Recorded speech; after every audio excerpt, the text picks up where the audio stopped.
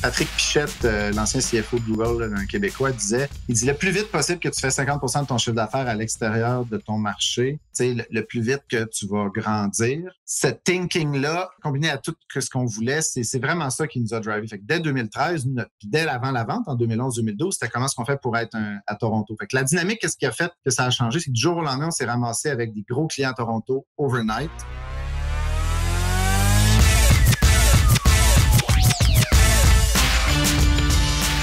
Mon nom est Antoine Gagné et je vous souhaite la bienvenue au 41e épisode du podcast Hypercroissance. Avant d'écouter l'épisode d'aujourd'hui, je vous invite à vous abonner à notre podcast sur iTunes ou sur votre plateforme de balado préférée afin d'être notifié des nouveaux épisodes qui arrivent tous les lundis matins. Également, l'épisode d'aujourd'hui est présenté et produit par G7 Media, une agence de publicité Facebook. En gérant près de 1 million de dollars de publicité Facebook par mois, G7 Media aide depuis 8 ans maintenant les entreprises à accélérer leur croissance via l'entremise de la publicité Facebook et Instagram. Si vous êtes un commerce en ligne et que vous désirez passer de croissance à hyper-croissance, rendez-vous au www.g7media.com et demandez à parler avec un de nos conseillers. En l'espace de quelques jours seulement, notre équipe saura vous bâtir un plan de match afin de faire grandir votre entreprise. Acheter une organisation en gardant en place les propriétaires existants est quelque chose de très fréquent dans les transactions pour les entreprises en prestation de services. Les acquéreurs vont donner un objectif spécifique à atteindre aux actionnaires achetés et si ces 10 objectifs sont atteints, la valeur de l'acquisition sera plus élevée. D'un autre côté, si l'entrepreneur en place décide de lever le pied et n'atteint pas ses objectifs, il risque de passer à côté de beaucoup d'argent. Ce type de transaction communément appelé earn-out est le sujet de la discussion aujourd'hui avec mon invité Guillaume Bouchard. Guillaume, qui a vendu son organisation NVI en 2013 au groupe Dentsu Aegis, est resté cinq ans dans l'organisation après avoir été acheté. On discute donc ensemble de la dynamique qui s'installe dans la tête d'un entrepreneur qui reste dans l'entreprise après avoir été acheté. Également, à titre indicatif, Densu Aegis est l'entreprise qui possède iProspect Canada, organisation qu'on fait mention tout au long de l'entrevue. Sans plus attendre, ma discussion avec Guillaume Bouchard.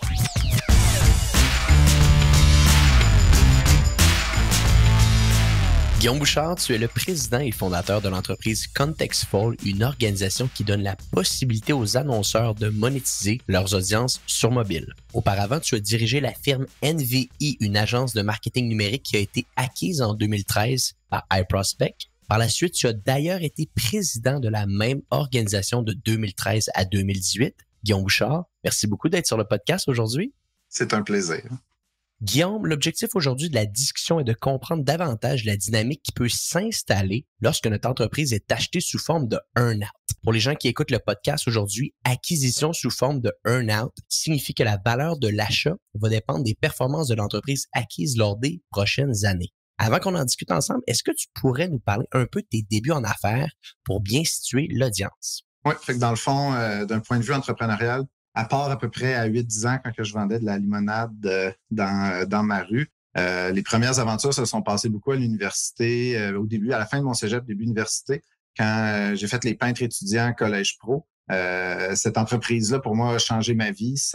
j'ai été la recrue de l'année dans ce truc-là. J'ai été un des plus jeunes gestionnaires de franchisés par la suite là-dedans. J'ai passé cinq ans là-dedans, puis ça m'a vraiment permis de comprendre comment gérer un, un PNL, comment aussi réussir à dépenser euh, plus que ce que tu fais euh, plusieurs années consécutives. Euh, à la fin de mes études, j'avais passé beaucoup de, temps là-dedans, un genre de cinq ans, mais j'avais quand même accumulé un, paquet de dettes avec ça parce qu'on on dépensait un petit peu trop. Mais ça a été vraiment là que j'ai appris mes jalons d'entrepreneur de, de peut-être de 18 à, à 22, 23 ans à peu près, avant de finir au HEC, un bac que je n'ai pas malheureusement complété. J'ai 84 crédit sur 90, mais euh, compléter dans le fond ça en, lançant NVI, là, comme tu, parlais tantôt, c'était un projet scolaire. Puis NVI, vous l'avez lancé en 2004, si je me trompe pas, c'est ça? Oui, exact. En finissant mon, mon bac, on avait un projet de fin d'année en profil entrepreneurship. Fait qu'on devait présenter un plan d'affaires euh, au professeur, pour travailler là-dessus toute l'année. Puis nous, dans le fond, ben moi, j'ai présenté ce plan d'affaires-là, puis je l'ai lancé en finissant l'école euh, en, 2004, justement, avec euh, deux, deux autres partenaires. Bon, mais ça, c'est assez, assez intéressant à savoir parce que là, par la suite, NVI, vous avez pris quand même du galon même qu'en 2013, comme je le disais un petit peu plus tôt euh, dans le podcast, vous avez été acheté par Dentsu Aegis, qui par la suite a pris le nom, je pense, de iProspect au Canada, ou du moins c'est une branche de Dentsu Aegis. C'est une des agences, oui, exact. C'est une des agences iProspect de Dentsu Aegis. Ça serait intéressant que tu nous parles un petit peu de 2004 à 2013, l'évolution de ton agence, parce que c'est sûr que le but du podcast aujourd'hui, ça va être de comprendre ces acquisitions-là sous, sous forme plutôt de earn-out. Mais en 2004, le monde du marketing numérique n'est pas ce qu'il est en 2020. Et je voyais beaucoup dans les descriptions de votre organisation, vous aviez l'air de faire ça sur beaucoup quand même de, campagnes de marketing numérique, euh, création de sites web. Bref, vous aviez l'air d'être une agence sensiblement intégrée. Peux-tu nous parler un petit peu de l'évolution que toi, tu as été capable de voir dans les, dans les approches publicitaires? Parce que tu étais vraiment dans le début de tout ça. Tu as, dû voir ça évoluer assez rapidement. Oui, ben, il y a eu un cours que j'ai eu au HEC et je donnerai toujours le crédit euh, à Jean-François Renaud de Adviso pour ça. Il donnait un cours sur le marketing euh, Puis nous, ça faisait un an que NVI existait. Puis notre idée de NVI, c'était une mauvaise idée. En 2004, notre plan d'affaires à l'école, c'était on va faire une compagnie de site web. on était juste après la bulle. Il y avait 150 agences à Montréal qui faisaient des sites web. Euh, fait, mais c'était, pas une bonne idée. Fait on a commencé ça. La première année, on a eu vraiment beaucoup de difficultés. Puis j'étais dans un cours euh, que je finissais justement pendant que je faisais mon, mon fameux plan d'affaires qu'on débutait euh, de marketing électronique, croisé Jean-François. Puis là, je me disais, ah, c'est un fait. Hein, faut acheter des sites, c'est bien, faire des sites, c'est bien, mais il faudrait qu'il y ait du trafic dessus. Puis j'ai eu un gros argumentaire avec mon partner sur est-ce qu'on fait du marketing numérique ou on fait des sites. Finalement, pendant les fêtes, j'ai décidé d'optimiser notre site on s'est ramassé premier sur Google sur conception web. Puis là, le téléphone s'est mis à, sonner. Puis là, on a dit, ah, OK, ça, ça, ça a du potentiel, le, SEO. Puis là, on est vraiment devenu des maniaques de, de, SEO. Puis là, la compagnie a vraiment eu sa première grande phase de croissance. On est parti de 6 à 18 employés dans la, à peu près l'année 3 en 2007-2008 à peu près. Puis c'était vraiment le SEO. Puis notre, notre thinking à ce moment-là, oui, on était intégré, mais on s'est rendu compte au fil du temps que ce qu'on faisait en web, c'était pas la même marché puis le même genre de clientèle qu'on qu'on faisait en marketing numérique. Fait que ça a quand même été, euh, même si on est démarré avec des sites web, un misfocus de garder longtemps dans le dans le big picture parce que ultimement on était une compagnie de performance numérique, plus de, de, marketing numérique. Puis euh, comme je disais, le, le, SEO ça a été vraiment un truc qu'on voulait devenir les meilleurs au Canada puis se différencier avec ça. Ça, ça a été pas mal la première, je dirais, moitié de la vie de, de NVI. Les trois, quatre, cinq premières années, première année ou deux survie avec les sites web, trois, quatre années suivantes, euh, l'explosion avec le SEO. Puis après ça, on a commencé à être un petit peu plus intégré, je dirais, au niveau marketing numérique. Fait que l'analytique, c'est venu s'ajouter, du pay-per-click. Euh, là, on a commencé à faire nos premières campagnes parce que Facebook a commencé à exister euh, 2007-2008. Euh, à l'époque, avant Facebook, nous, on a eu beaucoup de plaisir euh, avec quelque chose que les gens se souviennent peu, là, mais qu'on appelait du social news optimization. Fait que c'était des plateformes comme Reddit, comme Dig, qui, étaient, qui sortaient les nouvelles avant même les journaux parce qu'il y avait un côté instantané là-dedans. Puis quand tu faisais la front page de ça, tu ramassais 500 euh, backlinks, tu ramassais ah, visiteurs sur ton site, tu peux ranker sur à peu près n'importe quel mot-clé. Fait qu'on a eu beaucoup de plaisir là, à, développer cette première phase-là. La deuxième phase, jusqu'à la vente, euh, ça a été beaucoup d'être un peu plus complet, mais on s'était dit rapidement que nous, notre but, c'était d'être un top 3 canadien. Euh, versus, par exemple, un Adviso, parce qu'on s'est croisé plusieurs fois leur but, c'était d'être les meilleurs avec les sièges sociaux euh, québécois. C'était une philosophie un peu différente. Nous, on s'est dépêché d'avoir un bureau à Toronto. Euh, Adviso n'a pas de, bureau à ce jour. je fais des comparaisons parce qu'on est des coopétiteurs à l'époque. On est des très bons amis euh, aussi. Euh, mais c'est ça. A été lancé deux, trois ans avant NVI, mais nous, on avait des visées un peu, un peu différentes. Oui, effectivement. Ben, Adviso, c'est une, une, très belle organisation qui ont bien, bien grandi dans le marketing numérique. Fait que tu fais bien d'en parler, puis d'autant plus que de ce que je comprenais, c'est ça, ça a été lui un petit peu ton, ton professeur à l'école pour quelques années là, qui t'a initié au marketing, euh, au marketing numérique, marketing électronique. Mais moi, je suis curieux. 2007-2008, là, avant qu'on, comme je te dis, qu'on rentre dans, dans la phase d'acquisition, dans la phase d'achat, parle-nous de la dynamique de, tu sais, vous, vous deviez dans les premiers, là, dans les pionniers à vraiment se dire on fait de la performance numérique parce que c'était, bien entendu, ça commençait à devenir de plus en plus intéressant. Comme tu dis, SEO, Google Ads, ben ça s'appelait Google AdWords à l'époque. Bref, ça, ça devenait d'actualité. Je pense que Facebook Ads est arrivé à peu près en 2009-2010. Donc, mais vous deviez être dans les premiers, puis votre offre de service devait quand même être différente de ce qui se faisait du reste de la compétition. Ça rapport à Viso, il ne devait pas en avoir un million, là. Non, c'est ça. Ben, puis Adviso était plus en consultation, plus en achat média. Nous, on était plus On était plus les street smart. Eux étaient plus les book smart, je dirais. Ça a souvent été ça un peu comme. Moi, je m'amusais à nous différencier comme ça. Euh, nous, notre but, c'était de jouer avec l'algorithme. C'était de, de, le gamer. Euh, moi, j'ai fait les.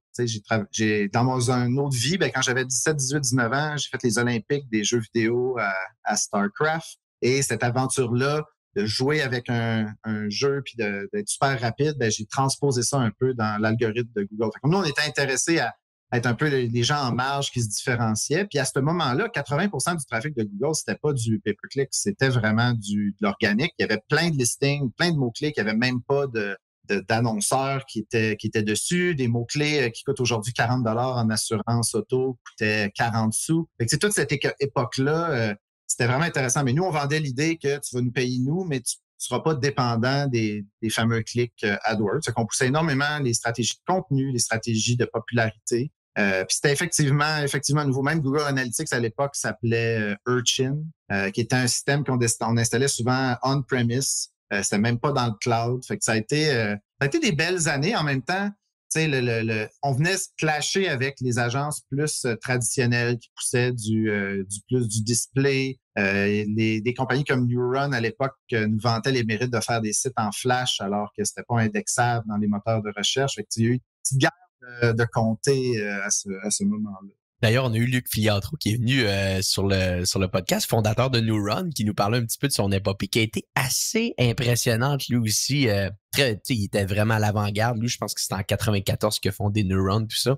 Mais bon, ben, je faisais une petite parenthèse parce que ça m'a fait penser à ça. Puis, fait que je vois un petit peu la dynamique. Euh, tu nous parles un peu de la première vie de Envy. Ben, première vie, je sais pas si c'est le bon terme, on va dire la phase, des phases. Bon, première phase dans ce cas-là. Deuxième phase, est-ce qu'on pourrait dire qu'elle commence en 2008-2009?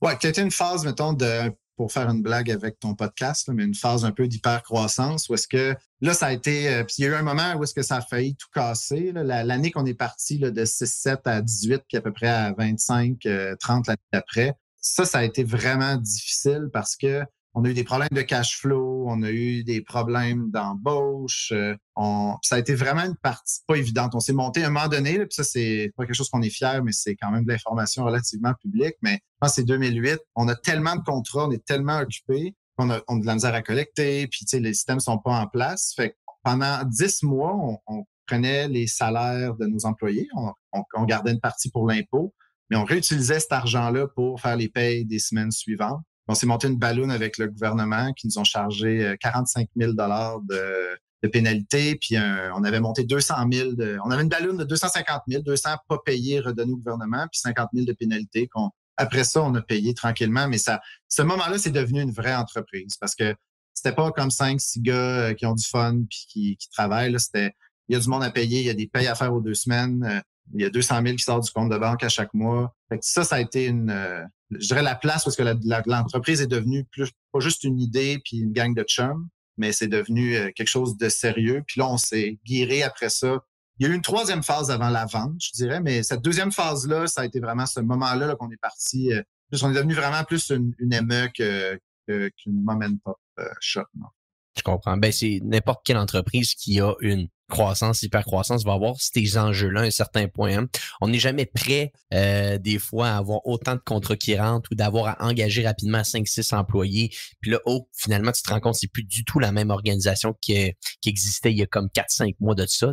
Puis, parle-nous un peu de ça. Donc là, tu as ces enjeux de croissance-là. Puis, qu'est-ce qui se passe dans, dans ta tête à un certain moment ou est-ce que parce que là tu arrives 2013 euh, puis on va y arriver l'entreprise a été acquise par Dentrages qui est un exploit en soi, félicitations. Mais qu'est-ce qui se passe dans ta tête à ce moment-là? Est-ce que tu vois que l'organisation atteint peut-être un certain niveau que tu dis, là, c'est le temps peut-être de la laisser aller? Est-ce que tu sens que c'est juste un plateau?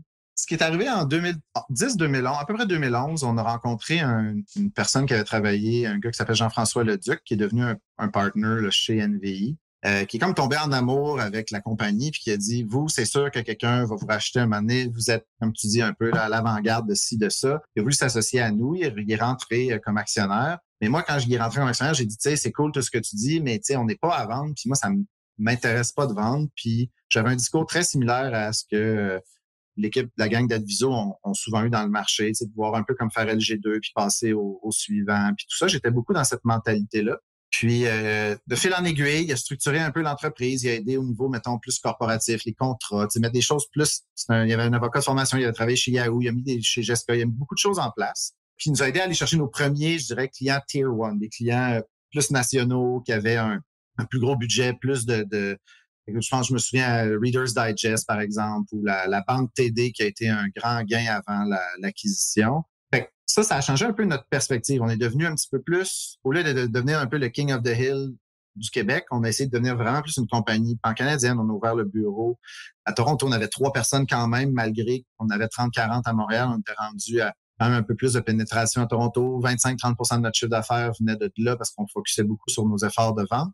Puis là, on est arrivé un peu une croisée des chemins pour un peu revenir à ton point, où est-ce que on était la plus grosse compagnie en 2013 indépendante euh, dans ce qu'on faisait en performance numérique, mais on n'avait pas accès à faire les plus gros pitchs parce que souvent les pitchs étaient organisés pour un pitch de média 360 ou un pitch 3, de, numérique 360. Puis dans les deux cas, on n'avait pas 100% des capabilities. Donc on se ramassait souvent dans une situation où est-ce qu'on veut vous donner la job, mais c'est un des Big Six qui le ramasse, un OMG, euh, euh, Publicis, euh, Dentsu. Parce que ben, Cossette n'étant pas là, dans les Big Six internationales, mais dans les Big Six, je dirais au Canada, oui.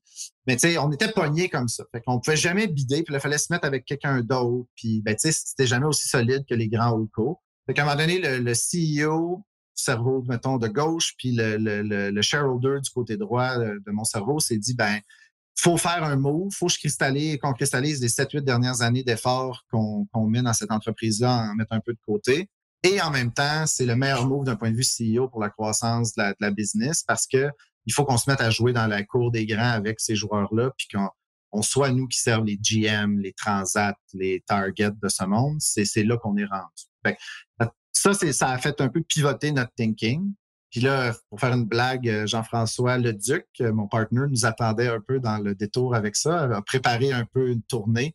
Euh, puis là, on a fait le tour d'à peu près une cinquantaine d'entreprises, dont les, les, six, les, Big Six. Puis on s'est ramassé assez rapidement avec plusieurs offres, plusieurs conversations. Ça a descendu à huit, puis après ça, on s'est ramassé à trois qui avaient un intérêt à, et qui ont présenté une, une offre formelle. Intéressant. Parlons un peu là, de, cette, euh, de ce moment-là. Euh, tu fais la tournée, fait que finalement, j'imagine un petit peu, vous préparez un deck. Vous êtes euh, clair dans vos intentions. Vous allez cogner aux portes. Vous dites, bon, voici la situation dans laquelle on est. Est-ce que c'est comme ça que ça se passe? Ben, l'exemple de, mettons, ce que je fais dans le contexte d'aujourd'hui, peut-être ce sera le sujet d'un autre podcast ou d'une conversation plus tard, mais si on reste sur, sur iProspect, une chose qu'on avait mis au clair tout le monde, c'est que aller chercher des acheteurs, se faire signer un LOI, faire un due diligence, faire un closing, ça prend beaucoup de temps. C'est un misfocus épouvantable. Puis, dans un contexte que l'acheteur te check aller pendant que tout ça se passe, ben, c'était un gros enjeu. Fait que les quatre partners qu'on avait à l'époque, euh, on s'est assis puis on s'est partagé les rôles. Puis clairement, JF était notre euh, point man, si on veut, qui a rassemblé un peu la liste originale, qui a bâti un, un genre de document d'une vingtaine de pages qui est un genre d'executive summary détaillé de où est-ce qu'on était, notre position dans le marché, où est-ce qu'on s'en allait, etc. Puis euh, un peu shop around, comme je disais tantôt. Puis quand les conversations se sont approchées plus des, des présentations plus en personne ou avec les gens, ben là, moi j'ai été un peu plus impliqué avec lui. j'avais le rôle du bon cop, lui avait le rôle du, euh, du bad cop, puis on a avancé dans le fond dans le, la négociation avec les joueurs. Puis là, il y a eu une fin de semaine que je me rappellerai toujours forcément où est-ce que les deux derniers bidders sont en train un peu de, de surenchérir. Puis là, on est comme, ben, on vous donne encore 24 heures, puis là, on, on signe avec quelqu'un, puis de choisir qui, euh, qui qu'est-ce que ça allait être notre, notre destinée. Fait que ça, c'était, c'était quand même un moment, euh, un moment intéressant en même temps, tu sais, c'est, euh, les conversations avaient lieu aussi sur la les évaluations. Puis là, on voyait qu'il y avait quand même une grosse partie qui était plus sur la performance qui allait arriver après la transaction. Mais c'est un moment assez, assez, assez intéressant. Là, j'ai une vidéo, euh, le même stylo que j'utilise encore de quand j'ai signé ma, lettre d'intention, le, truc de closing à 3h30 du matin, euh, quand on a fait l'annonce puis tout ça. Fait que ça, c'est des beaux, euh, c'est quand même des beaux souvenirs. Ben, tu as utilisé un mot qui est intéressant, destiné, parce que, il faut le mentionner, la transaction que vous avez conclue, elle ne se terminait pas quand tu signais le deal parce que on en a parlé toi et moi ensemble euh, dans d'autres conversations. Cette transaction-là s'est faite, comme je l'ai dit en début de podcast, sous forme de earn-out, donc sur les performances que ton organisation allait faire pour les années à suivre. Donc là, parle-nous un petit peu de ça. La transaction se fait, on va le dire, c'est ça, c'est Densu Aegis qui a, gagné le bid. Hein. ça a été, euh, c'est ça qui, qui s'est passé. À partir de là, c'est comment s'installe cette, euh, cette dynamique de travail-là? Est-ce que Densu euh, te donne le plein contrôle de faire ce que tu fais en disant voici les objectifs à atteindre, puis on va se faire un touch point à tous les trois mois? Comment ça s'installe? Comment ça, ça se met en place tout ça? Mon expérience a été vraiment positive avec le groupe. ce ne sera jamais exactement comme toi, tu t'imagines comme entrepreneur parce que sinon, tu serais resté simple, un, tu serais resté à gérer ta propre entreprise. Euh, je pense que la, philosophie puis l'esprit de ces entreprises-là, ça reste quand même de faire un environnement où que tu vas réussir à avoir du succès, je dirais au minimum à court, moyen terme. Après ça, c'est sûr que c'est dur de dire. L'organisation elle-même peut s'amener à se transformer. Un petit fait cocasse, nous, quand on a vendu, on était en train de vendre, puis on était dans le dernier mille du due diligence. Dans le fond, Densu a acheté Aegis, parce que nous, c'était Aegis qui était en train de, de nous acheter. C'est une londonienne.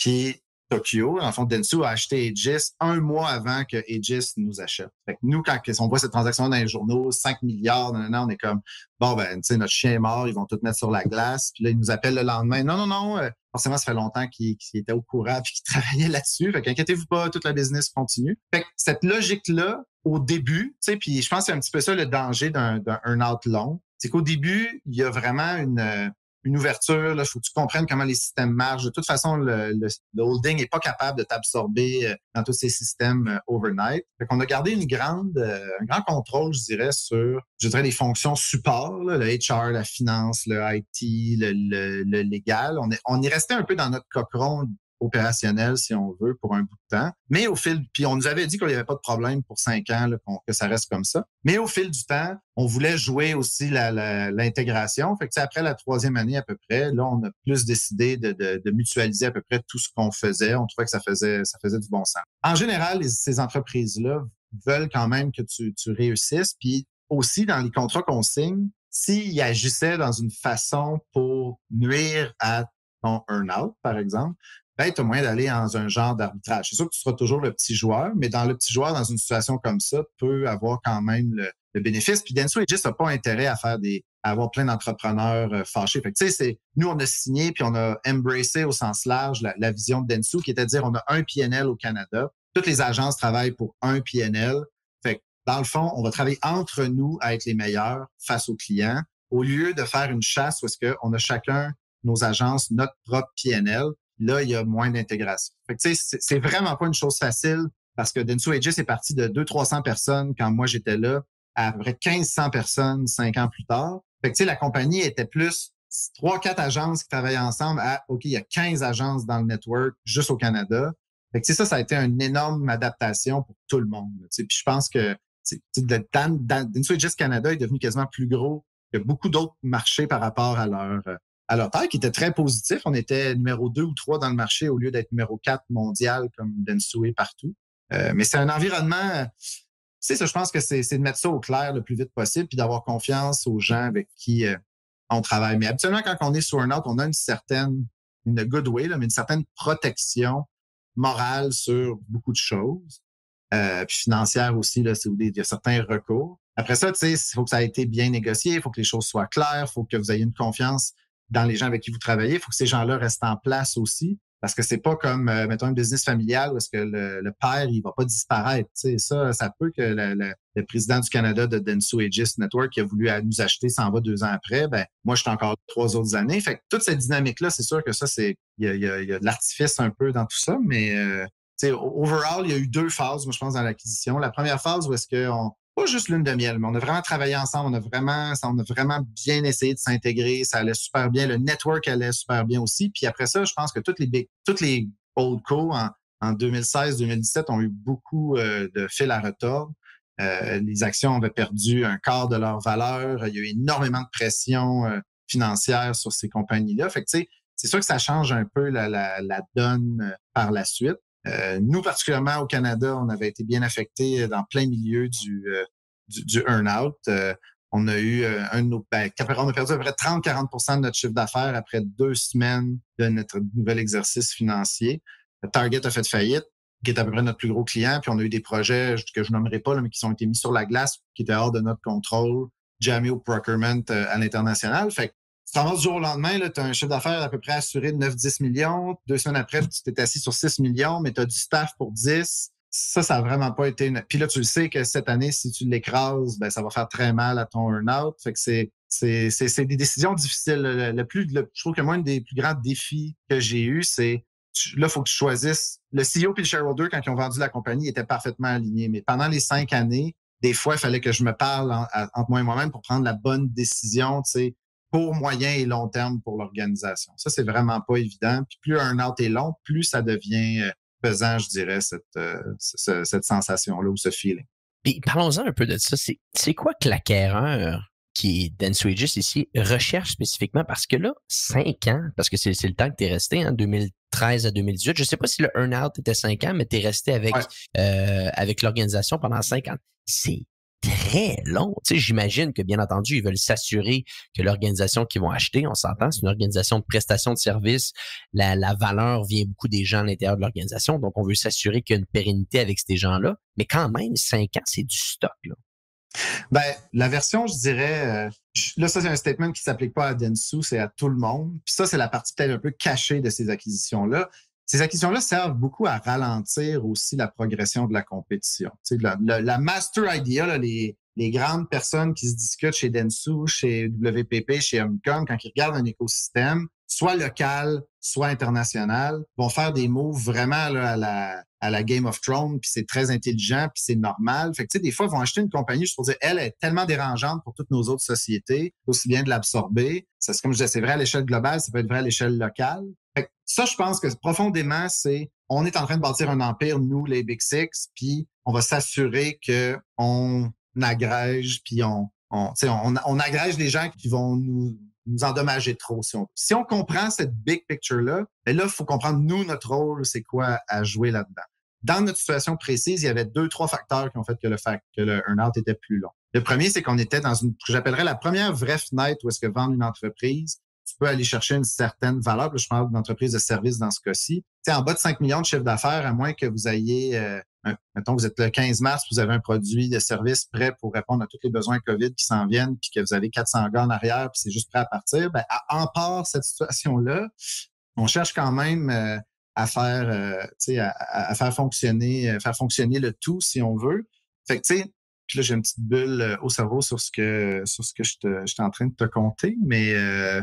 ben, en gros, tu étais en train de nous dire que des entreprises de prestation de services, tu étais dans les premiers. Oui, c'est ça, le 5 millions. Le fameux 5 millions, excuse-moi, ça, ça m'arrive euh, au moins une fois par podcast, même si j'en fais pas souvent. fait que ces 5 millions-là, c'est la première fenêtre. Sauf que quand tu arrives là, si tu prends juste un an de un an, deux ans, ben l'appétit pour la grande entreprise de t'acheter va pas te donner nécessairement un gros cash, puis va, va pas te donner nécessairement une grande possibilité d'aller Fait que la première raison du 5 ans, c'est nous, on s'est fait proposer un scénario à 3 ou à 5, puis on préférait rester plus longtemps pour aller chercher une plus grande carotte. Fait que ça, c'est la première chose. La deuxième chose, c'est qu'eux aussi, inversement, plus ils t'achètent jeune, plus tu es un danger parce que la valeur est associée beaucoup à toi. Fait ils veulent se donner du temps pour que tu puisses construire une infrastructure qui va survivre à si tu t'en vas ou si une partie de ton équipe de management euh, s'en va. Euh, fait, fait que c'est ça. Fait que ça, ça a été les deux grandes dynamiques. Là. Et ça faisait déjà quelques mois, peut-être six mois qu'on travaillait avec Cara, qui était la grande agence qui existait dans Denso Aegis à l'époque,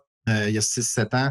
C'était la, plus grande agence qu'il y avait dans le groupe, à peu près 200 personnes. Fait qu'eux n'avaient pas vraiment le, pôle de performance numérique. Fait qu'on venait travailler déjà ensemble. On était déjà des amis, si on veut, dans le marché. Puis ça a amené un peu à cette, euh, cette transaction-là.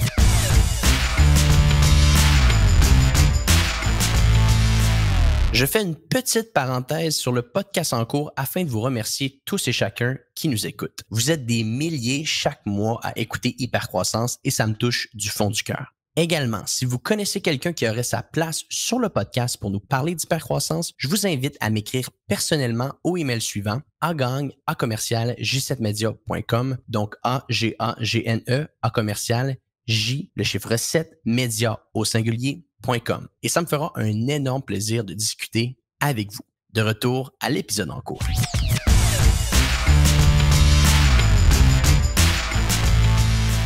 Donc, en gros, ce que je comprends bien, puis corrige-moi si je me trompe, Denso arrive, font l'acquisition, prennent une entente avec vous de cinq ans. Donc, en gros, pour les gens qui nous écoutent aujourd'hui, on va faire les choses très, très simplement. Puis ça, c'est des chiffres fictifs que je dis. Si, disons, l'acquisition qu'ils faisaient avec vous, euh, ils mettaient, on va dire, 5 millions de dollars de valeur à cette acquisition-là, ben, il allait vous dire, OK, première année, au moment de la transaction, on vous donne un million, mais le 4 millions restant va dépendre des performances que vous allez faire sur les cinq prochaines années. Donc, pour faire ça très simple, ça ressemble un peu à ça, une acquisition d'un out. Moi, la question que j'ai pour toi maintenant, quand cette euh, négociation-là a été faite, est-ce qu'un objectif d'une grande organisation comme Dentsu Aegis va être relié à vous dire vous devez augmenter davantage le top line, donc les revenus, ou d'un autre côté, on vous demande davantage d'aller chercher de la profitabilité? C'est quoi vraiment leur, leur mission qu'ils vont donner à un, à un CEO comme toi pour, pour aller chercher, comme tu disais tout à l'heure, une plus grosse carotte? Ben, dans notre cas, parce que je pense pas que c'est un one size fits all, mais dans un contexte comme le nôtre, eux étaient plus intéressés par les métriques de profitabilité. Euh, nous, on a fait un gros pitch sur le top line, de montrer qu'on préférait, par exemple, rouler à 10 points de profit, mais grossir à 30-40% au lieu de grossir à 20-25% mais 15 points de profit, par exemple. Mais c'était vraiment pas ça. Notre mécanique, sans, sans pouvoir expliquer vraiment le détail, était euh, sans, presque exclusivement basée sur la profitabilité et un escalier de profitabilité que je peux te dire que les marches étaient très hautes. Là. Si sans rentrer dans, vous donner une idée, la première année, il fallait doubler notre profit l'année suivante. Puis après ça, il fallait rajouter la valeur de ce profit original-là de plus à chaque année. C'était vraiment, tu pouvais pas, tu n'avais pas beaucoup de place à ne pas avoir une croissance soutenue. Après ça, il y avait certains mécanismes qui te donnent une chance si tu avais une mauvaise année versus une excellente la suivante. Mais ultimement, le message, malgré on n'avait pas le choix de grossir notre chiffre d'affaires pour faire plus de profit dans, tous les cas. Mais euh, le, notre message qu'on s'est fait donner, à l'instant, peut-être c'est vraiment différent, c'est une business de produits parce que tu vas chercher la croissance puis le, le marché. Dans une situation où est-ce qu'on était déjà relativement gros, là, entre guillemets, dans le marché canadien, euh, notre objectif, c'était de, de, générer du. Fallait, fallait payer pour notre euh, notre acquisition. Je veux dire, c'est comme ça. Ben, en gros, c'est ça. C'est qu'ils sont allés euh, sont allés s'assurer que l'acquisition était quasiment payée par elle-même, un peu si c'était ça qu'ils demandaient d'avoir autant de marge de profit, là, tu sais. Ben, en même temps, c'est un peu logique. C'est une société qui grandit principalement par acquisition et un petit peu par organique. Fait que le message directionnel de ces grands groupes-là, c'est, achète 80% de ta croissance, puis espère aller chercher un petit bump avec des bonnes intégrations, puis euh, pas trop de churn euh, quand que tu as acheté, puis étouffer un peu la compétition. Puis, tu sais, c'est un mécanisme, c'est un grand bras financier, là, vu qu'il achète du média, il, il, achète, il revend, il y a des taux de change. Ça a l'air de rien, mais tu sais, souvent les business en arrière de ça, c'est il y a un côté bancaire assez euh, assez important.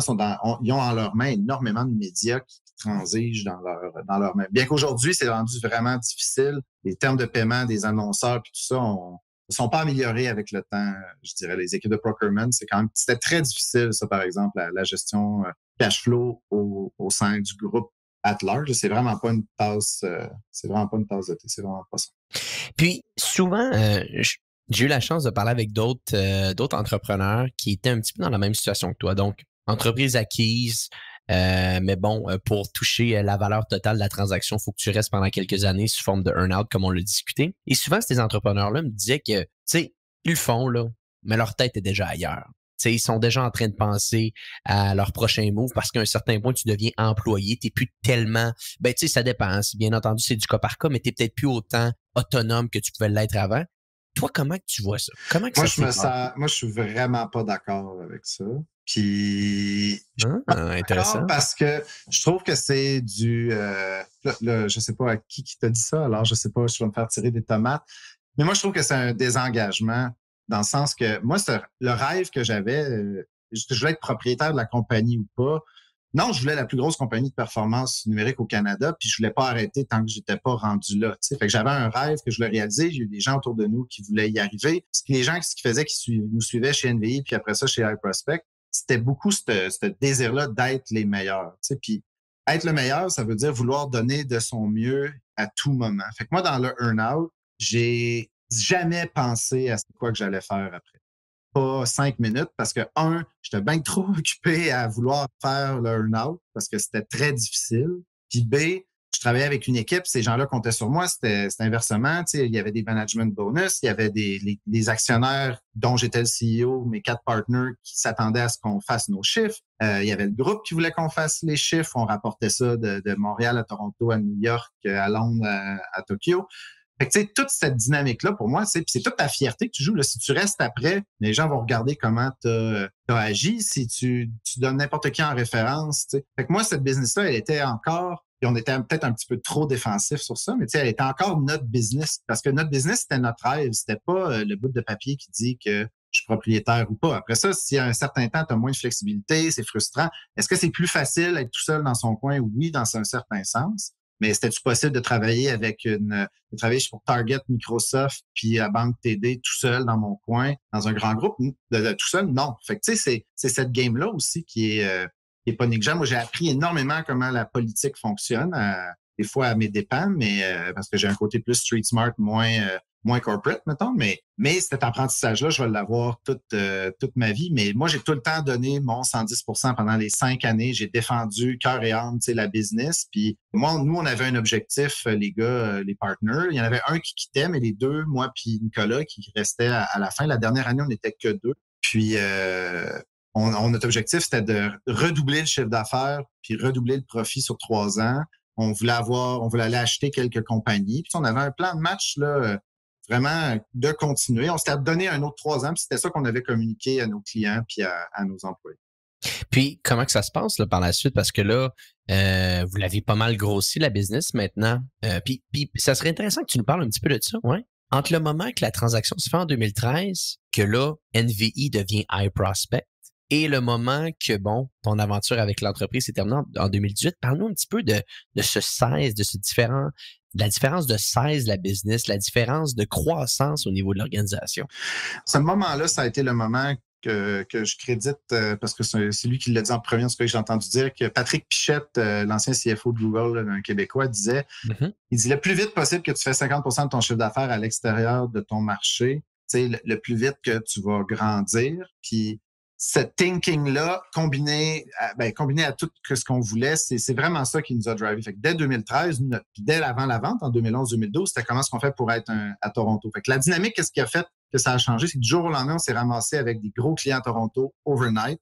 On a hérité de deux, trois employés, mais il a fallu en, embaucher cinq, six euh, à Toronto. Fait que cette partie justement là, de hyper croissance, d'ajustement, puis tout ça, ça a été vraiment, euh, vraiment motivant. Ça a été euh, c'est là que tu apprends. Moi, j'appelais ça notre baptême un peu dans les ligues majeures parce que interfacer avec des entreprises, de, des billion dollar companies, c'est vraiment pas la même chose que travailler pour une PME puis euh, avoir ton, ta petite comptabilité sur, euh, sur Sage ou euh, c'était pas la même chose. Sinon, on était à la fin de G-SOX Compliance, qui voulait dire que le premier jour du mois suivant le mois qui vient de fermer, il fallait que notre stock financier, le reporting, soit envoyé à Tokyo. Ça, ça veut dire que tu passes dix jours avant la fin du mois à faire ton pré-close pour que la journée que tu passes sur les bouts. tu sais, cette logique-là, cette discipline-là, euh, la politique de gérer tout l'écosystème, j'aurais jamais été capable, j'aurais jamais vécu ça. Euh, il y a des choses pas le fun là-dedans, mais j'aurais jamais eu ce bagage-là. Euh, je pense qu'il y a eu un certain épuisement à la fin, comme je disais, en 2016-2017, où est-ce que l'équipe de management était peut-être un peu mais c'est l'environnement était un peu morose, rien à voir avec Densu, c'était plus généralisé dans le, le média, c'était pas des, des années faciles. Euh, énormément de procurement qui se mêlaient des conversations. Fait là, des fois, tu sens moins, tu sens moins entrepreneur. Mais est-ce que ton attitude change? C'est là, pour finir sur le rap de tantôt, moi, je pense qu'elle devrait pas changer. Moi, jusqu'à la dernière journée que je me suis fait griller, j'étais 100% euh, dans, dans la compagnie, puis j'avais jamais pris d'entrevue pendant cinq ans pour rien. Euh, J'écoutais même pas les propositions parce que je savais très bien que c'était pas ça ma mission. Puis j'ai mis mes œillères puis j'ai foncé parce que c'était ça l'engagement que j'avais pris avec mon staff, avec moi-même puis avec mes, mes partenaires.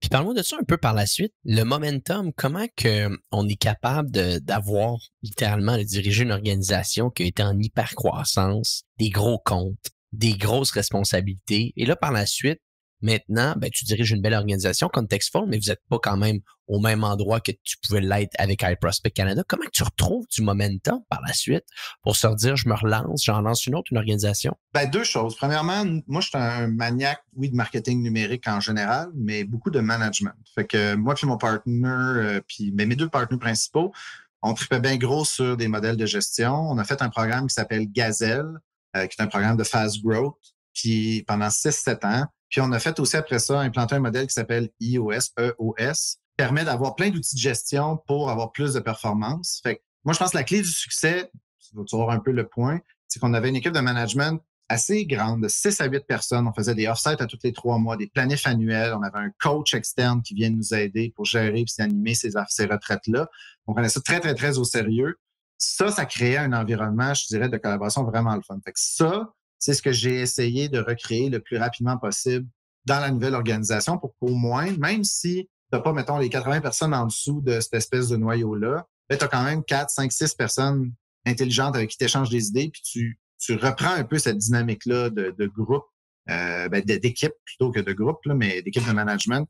Moi, c'est une des choses qui me donne le goût d'aller travailler au bureau. Fait ça, je pense que c'est une chose à faire. Une autre chose, c'est sûr que c'est de désapprendre beaucoup de réflexes. Là, quand tu tu avais une exec admin qui t'aidait à gauche, à droite, euh, une certaine Jessica qui m'aidait énormément, puis là, tu te ramasses du jour au lendemain, euh, ça, c'est un exemple, mais tu sais, ou tu as une idée, mais là, tu sais que c'est toi qui vas la faire parce que tu peux pas te donner ça à ta, marketing manager, ben c'est sûr c'est pas la même game. Mais en même temps, tu te re-questionnes aux besoins de faire chacune de, de, ces choses. Puis tu acceptes aussi de, de, naviguer beaucoup dans du 20-80 puis du fonctionnel jusqu'à temps que tu aies un besoin de le rendre exceptionnel, par exemple. Fait que, je pense que ça a été plus dur. la partie la plus dure, c'est que j'ai passé à peu près un an et demi, ben, dur entre guillemets, là, mais dans un incubateur, une espèce de demi-sous-sol, qui est vraiment cool. le building est cool. C'est chez Tandem Launch, mais euh, en comparaison avec euh, le bureau qu'on avait chez euh, sur Saint-Ambroise avec une piscine Infinity, puis euh, des parties, puis des 5 à 7, puis toutes les affaires, ben là, c'est sûr que c'est un autre c'est un autre univers, mais en même temps, on, on vieillit tous. J'ai deux, deux gars de 9 ans puis 11 ans. Fait qu'à un moment donné, je finis plus à finir au soccer euh, dans les 5 à 7, euh, à regarder mes gars jouer que d'autres choses. Fait que tu sais, c'est, chaque, chaque chose a son, euh, a son temps, si on veut. Là, la vie d'agence, c'est sûr que je vois une valeur de faire une carrière là-dedans. Il y a vraiment des gens qui sont faits pour ça. Puis il y en a d'autres que c'est un passage 5, 10, 15 ans où est-ce qu'ils ont énormément de fun. Puis dans mon cas, ben, je voulais faire un produit à l'échelle internationale au lieu d'une business de service nationale. Fait que ça a comme un peu, ça a bien cadré dans le fond, là, dans, dans, dans la bascule, si on veut. Puis comment que ça se passe, Contextful, si tu pouvais nous en parler un peu?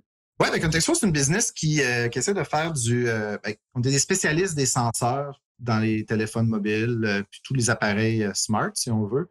Mais nous, on a décidé de travailler seulement sur les senseurs qui génèrent pas de données privées. Fait pas de caméra, pas de micro, pas de GPS, pas de GDPR. Puis le thinking étant, on veut bien comprendre comment les humains interagissent avec le téléphone, dans quel environnement immédiat ils l'utilisent, utiliser ça dans plusieurs sphères, comme par exemple la publicité, par exemple l'assurance, par exemple pour aider peut-être euh, au niveau du stress puis de l'anxiété en détectant des, des moments où est-ce que tu files pas bien. Fait que tu sais, notre thinking, c'est comment est-ce qu'on peut rendre tous ces senseurs-là qui sont latents un peu dans le téléphone, puis d'en exploiter quelque chose d'intéressant, mais qui va pas être dans un contexte de Big Brother puis d'essayer de don en savoir plus. C'est vraiment plus pour diminuer un peu la friction qu'on a entre nous et nos appareils, puis euh, tenter de faire ça avec, avec des données qui sont pas euh, dangereuses pour, euh, pour tout le monde. Fait à date, ça va très bien. On a fait une, on, est, on a passé deux ans dans un incubateur chez Tandem Launch, comme je disais, avec à peu près un million de dollars d'investissement.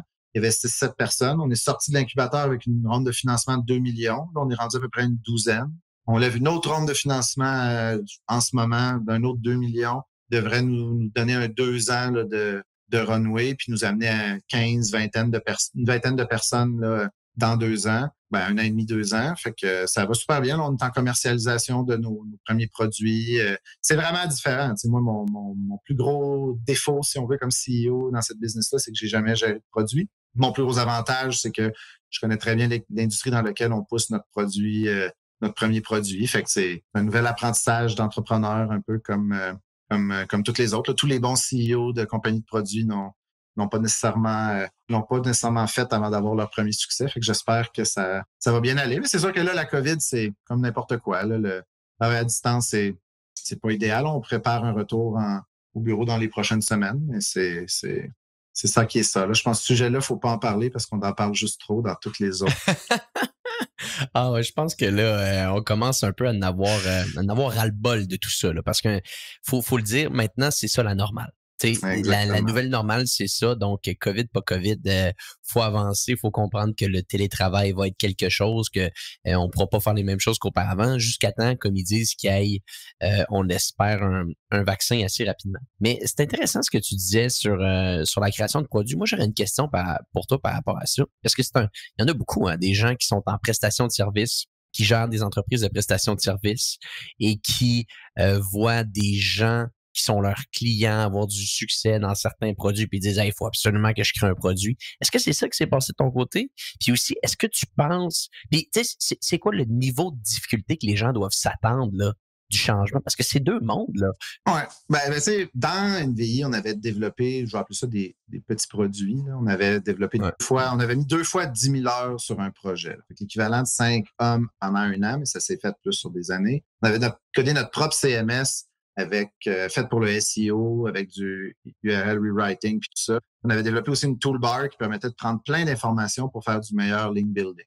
Mon learning, moi, de ce moment-là, qui a fait que j'ai fait quelque chose de différent, c'est une business de service, une business de service, puis une business de produit, c'est une business de produit, puis c'est pas compatible dans ce que moi j'ai vu, dans le sens que tu peux avoir un produit dans lequel il y a du service autour, mais une entreprise de service comme une agence devrait focuser à être les meilleurs à faire ça, quitte à se doter de certains outils pour mieux faire le travail. Euh, propriétaire ou non, en général, euh, il y a quelqu'un qui y a pensé déjà euh, ce genre d'outils-là. Fait que, moi, le conseil que je donne souvent aux gens, c'est de rester dans les deux cases. Puis un produit, c'est une, affaire dédiée à temps plein. Là. Sinon, on va être rendu à 5 millions d'investissements, puis on commence à faire nos premiers dollars. Mon, un autre de mes chums, que, pendant que moi j'ai parti à NVI, il a parti euh, Elios, qui est une compagnie de fauteuils roulants en carbone. Ben, lui, ça avait pris 5 ans à faire sa première vente, puis il a fait 122 versions de plan d'affaires pour son produit. Mais à partir du moment qu'il a eu son produit, puis qu'il avait son brevet, puis que ça allait bien, ben là, il en, il en vend, puis une gros, il va devenir un, un super beau manufacturier. Fait c'est deux choses différentes. Je pense qu'on voit de la facilité dans ce qu'on disait nos clients qui ont des produits. Je pense que si une agence est intéressée, elle peut se mettre en partenariat, aller chercher un certain actionnariat d'une compagnie qui aurait un produit, l'aider à faire des choses comme ça. Mais une agence, c'est pas ça son core business. Puis selon, puis aussi une chose que j'ai réalisée, puis ça, ça va sans choquer personne. Il y a des développeurs puis il y a des développeurs web. Puis un développeur web, c'est pas fait pour faire du software.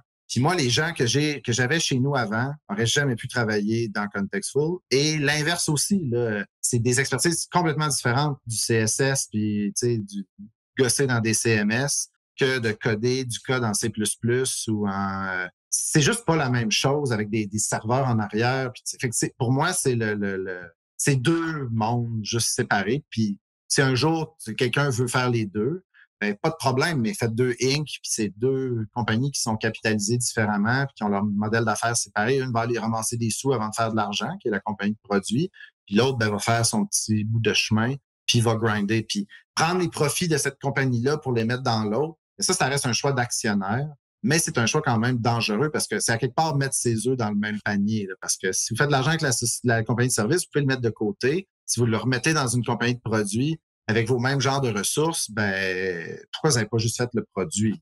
Parce a pas de profit parce que la compagnie de service, elle finance la compagnie de produit. Fait que tu sais, c'est.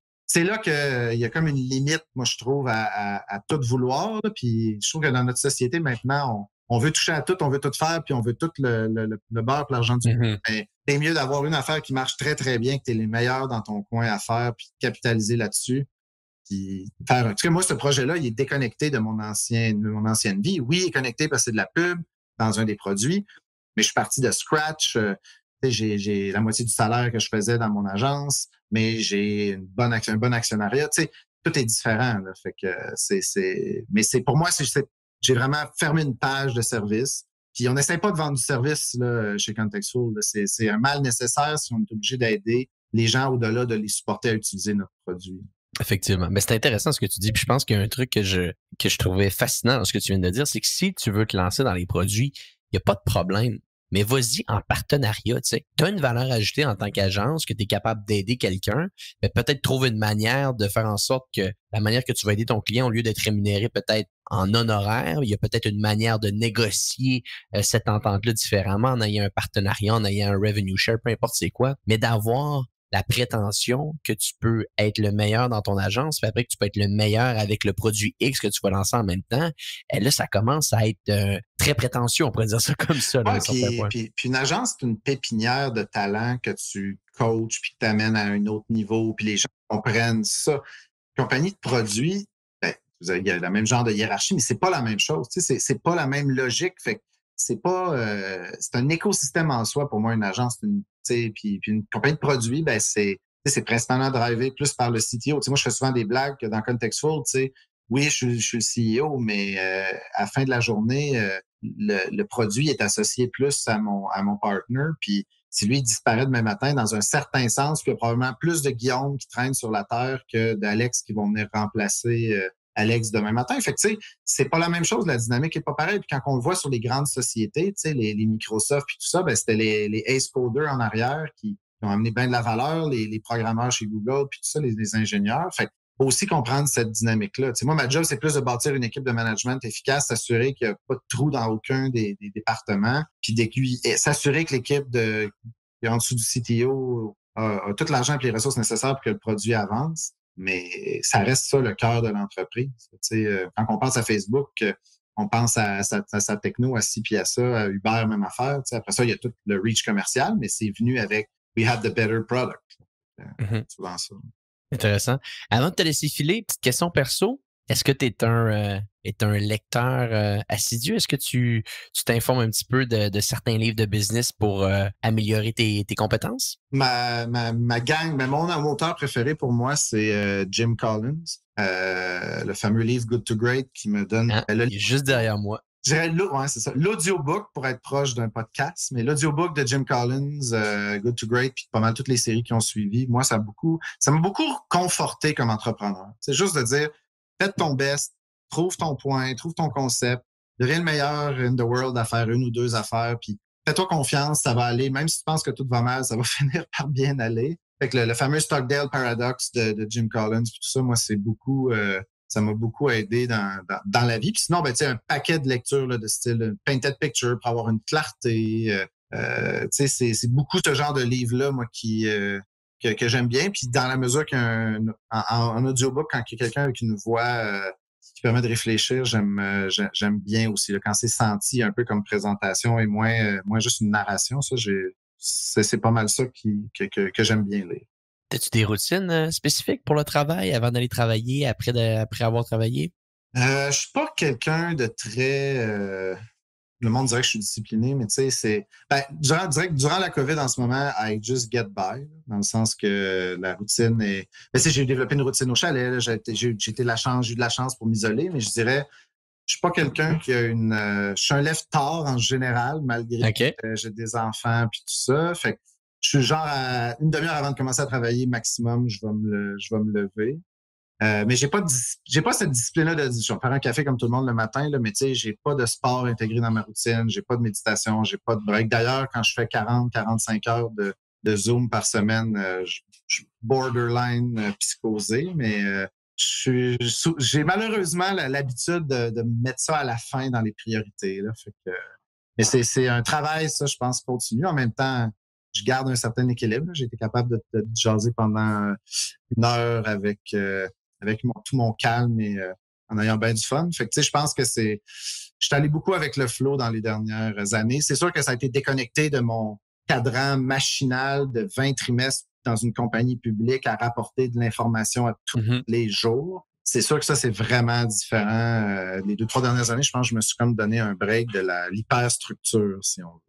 Non, je comprends très très bien. Ben oui, c'est sûr que la dynamique euh, entre reporter à chaque mois euh, tes chiffres à Denso puis tranquillement pas vite arriver, repartir une start-up, être dans le COVID, travailler de chez toi, c'est pas, euh, c'est pas. Mais là, il y a quand même des investisseurs, mais c'est honnêtement, j'appréhendais ça un peu. Peut-être on peut finir ça là-dessus, mais c'est quoi la différence entre avoir vendu ta compagnie à un holding puis avoir des VC? Honnêtement, les, autant que les VC, c'est plus tough financièrement, ça, ça peut te squeezer si tu fais pas tes milestones puis tout ça, mais tu as beaucoup plus de marge de manœuvre à opérer l'opération. Dans un holding, tu as quand même beaucoup de compliance que j'ai moins vécu quand même dans, dans la startup. Fait que j'aime à date, en mode startup, c'est sûr qu'une startup avec aucun financement, tu es tout seul, ça va bien. Mais la, version, si on veut, euh, que j'ai là en ce moment, je trouve ça quand même le fun. Il y a, de la, une certaine confiance entre les investisseurs et nous. Fait qu'on a beaucoup plus de marge de manœuvre opérationnelle. Il y a moins de reporting dans ce sens-là. C'est un rapport aux trois mois, on fournit les financials, mais c'est pas euh, c'est pas comme il y a 200 agences qui reportent dans tout le siège social, puis là, il y a un reporting monstre. Puis là, ben, si t'as pas tout rentré dans la bonne case, c'est difficile. Ça, c'est j'aime mieux ça. Euh, le feeling en ce moment est un peu plus, euh, me sens un petit peu plus libre, disons. Je comprends très bien. Guillaume Bouchard, merci euh, énormément d'avoir été sur le podcast aujourd'hui. Pour être très honnête avec toi, j'ai trouvé ça complètement fascinant. Euh, j'ai la chance dans euh, quelques semaines de ça d'interviewer une autre personne qui vient d'être vient d'avoir son entreprise qui a été achetée par iProspect, qui lui, je pense que c'était aux États-Unis que ça s'est passé. Fait que j'ai hâte d'en apprendre un petit peu plus. Mais félicitations, belle histoire avec iProspect, puis je te souhaite le meilleur des succès pour Context Merci, monsieur. Puis pour les gens qui nous écoutent, on se dit à bientôt pour un prochain épisode de Hypercroissance.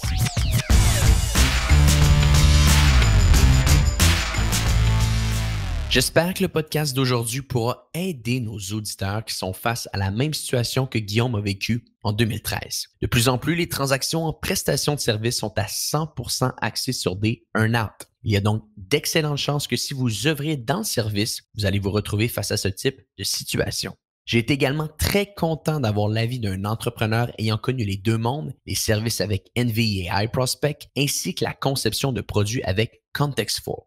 Également, si vous connaissez quelqu'un qui aurait sa place sur le podcast pour nous parler d'hypercroissance, je vous invite à m'écrire personnellement au email suivant agang à commercial j7media.com. Donc A-G-A-G-N-E à commercial J le chiffre 7 média au singulier.com. Et ça me fera un énorme plaisir de discuter avec vous. Je termine en vous invitant à nous donner une note de 5 étoiles sur iTunes ou sur votre plateforme de podcast préférée. Vos commentaires sont également très appréciés. Sur ce, on se dit à bientôt pour un prochain épisode de Hypercroissance.